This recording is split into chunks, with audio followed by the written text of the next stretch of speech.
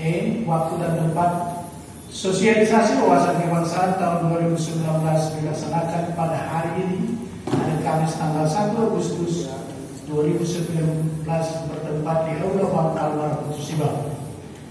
Pemilihan Provinsi Kalimantan Barat pada Badan Kesatuan Bangsa dan Politik Provinsi dan Bangsa dan Politik Provinsi Kalimantan Barat berkenan memberikan sambutan dan kepada sekaligus membuka secara yang dalam hal ini diwakili oleh Bapak PJ Sekda Kabupaten Kapuas itu ini adalah senior saya.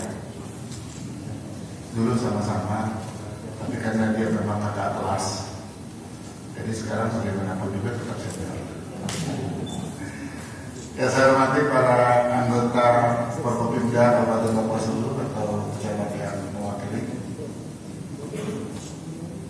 secara khusus pimpinan cabang Bangkal Subang para rekan-rekan kepala